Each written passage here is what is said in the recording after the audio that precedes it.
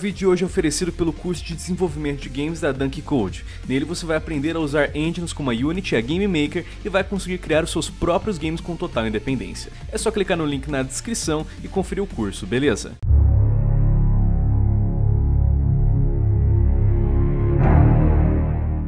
O mundo dos jogos online sempre teve, né, diversos adversários, incluindo aqueles, né, clássicos hacks como o wall hack, o god mode e diversas outras maneiras que trapaceiros conseguem né, estragar uma partida, basicamente quebrando o jogo para todo mundo que está envolvido. Acho que nada é pior quando você tem uma, uma situação, por exemplo, recente, que são Battle Royales, né? Jogos com 60, 100, às vezes 200 jogadores simultâneos e todo mundo que está aí, né, tentando dar o seu melhor, tentando, né, justificar ganhar to de todos esses outros jogadores, né, centenas de outros jogadores, terem sua partida arruinada por um mal intencionado que está utilizando trapaça, está utilizando algum hack.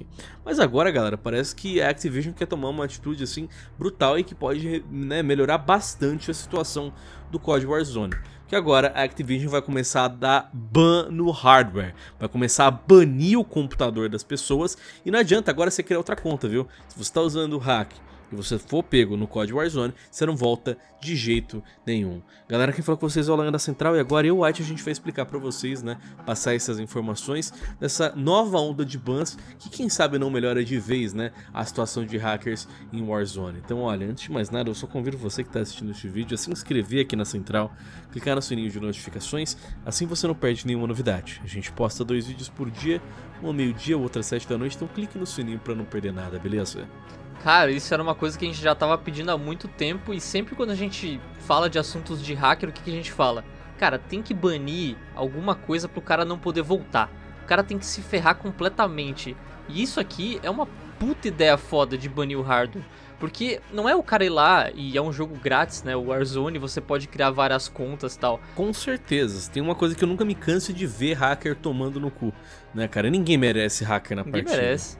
Ninguém aguenta isso tá acontecendo, galera, que recentemente, né, o perfil oficial de Call of Duty no Twitter, no último dia 13 de abril, trouxe pra gente um post, né, com alguns detalhes da atualização anti-trapaças deles nos serviços de Call of Duty Warzone, o modo Battle Royale de COD atual, né? E de acordo com as informações deles, eles conseguiram, né, trazer um progresso de quase 475 mil permabans que foram, né, dados no, nos trapaceiros do Call of Duty. E o que acontece? Isso daqui é muito interessante, isso é muito importante, porque normalmente quando a gente vê centenas, milhares, às vezes até milhões de bans em jogos online, isso acontece em contas específicas. Malha mal um IP, né? Malha mais, daí é raro até, mas às vezes rola um ban no IP na sua rede. A questão é que você usando um VPN, pronto, você já está num outro IP. Você colocando outra rede de internet, você já está com um outro IP. E as contas mais ainda, né? Você pega aí, tem tanto jogo que você... Ah, eu fui banido de tal jogo. Tá, vai lá, compra o jogo Sim. em outra conta. Pronto, você voltou pro game, voltou a usar hack. Especialmente Battle Royales gratuitos, como é o caso de Call of Duty Warzone, né? Esse jogo, que é online, Battle Royale e totalmente free to play, isso daí, cara, é um, assim, é mão beijada pros hackers mal intencionados que vão lá e, e, tem galera que tem dezenas, às vezes centenas de contas fakes, né? Às vezes tem centenas de contas de backup, que é, vou aqui, tô usando meu hack no Warzone. Se eu for banido amanhã, cara, eu tenho umas outras 10 contas que eu vou estar tá utilizando meu hack aqui, vou estar tá upando e foda-se. Por que, que as pessoas fazem isso? Não sei. Até hoje eu não consigo entender a lógica de você ficar utilizando trapaça no jogo online. Não consigo ver graça. Pelo contrário, eu acho um puta de um imbecil um cara que utiliza hack em jogos online. Mas tem gente que faz isso. E faz isso até esse grau que eu falei agora. De ter centenas de contas secundárias preparadas para continuar jogando vai ser banido em cada uma dessas contas, mas como é de graça, né? O cara não tem nenhum tipo de barreira que impede ele de voltar pro jogo e continuar trapaceando com outro ah, nome. Ah, é o, é o famoso fracassado, né, cara? O cara não consegue na habilidade, ele tem que conseguir como? No hack, né? Não se, se garante, não, tem, não troca. Não tem, não tem mira suficiente para ganhar de mim na trocação, o que, que eu faço? Vou ativar meu aimbot aqui eu ganho de você. E aí eu vou chegar na escola depois, no recreio, vou falar pros amiguinhos que eu fui foda e ganhei todas as partidas ontem. Olha só. É, é muito isso que lixo. o hacker é, um fracassado. É muito né? lixo. Um, um, um lixo completo, total. E aí o que acontece? Agora, né, com essa nova onda de bans do Warzone, as coisas mudam. Por quê? Esses permabans que estão sendo dados não estão sendo dados em conta.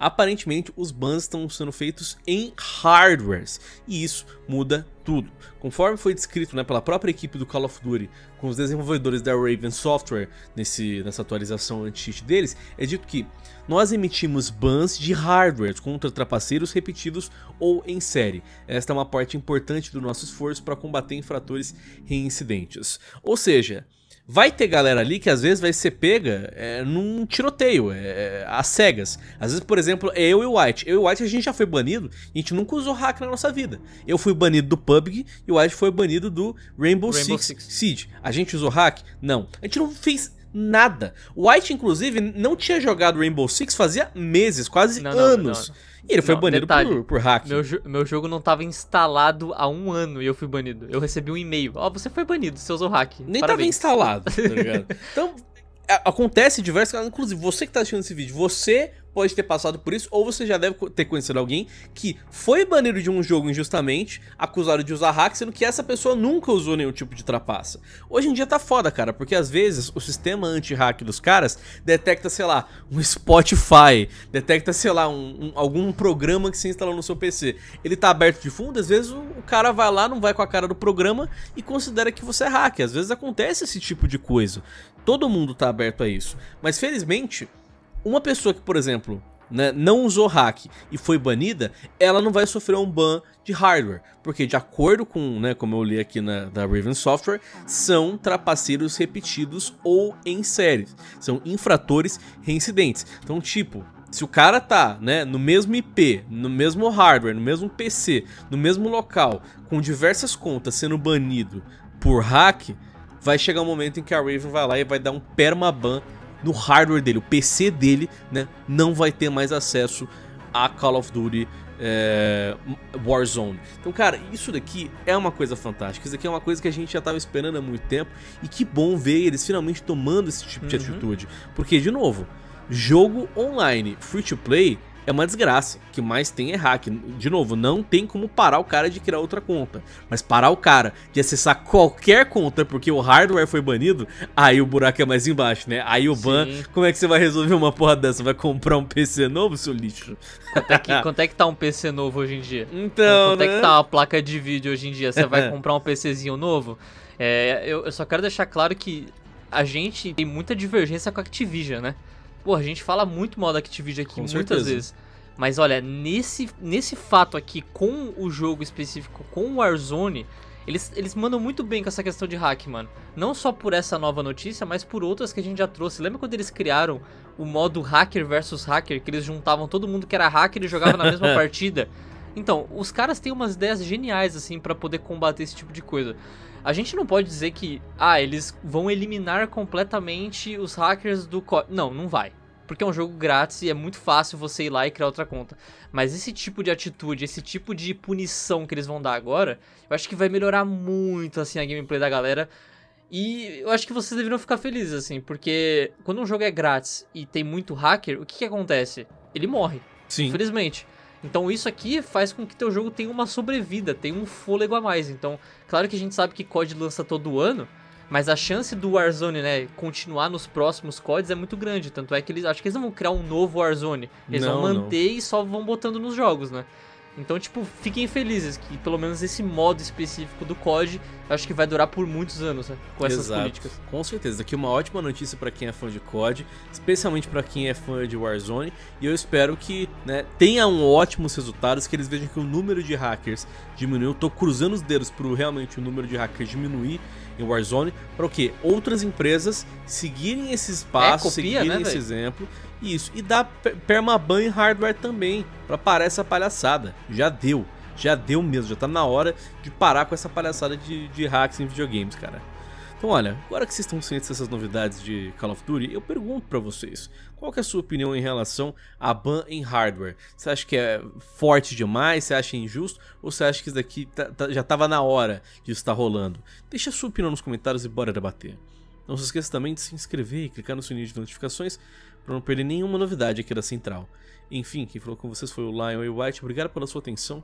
Eu espero que vocês tenham um ótimo dia, uma boa sorte nos campos de batalha e até mais. Valeu!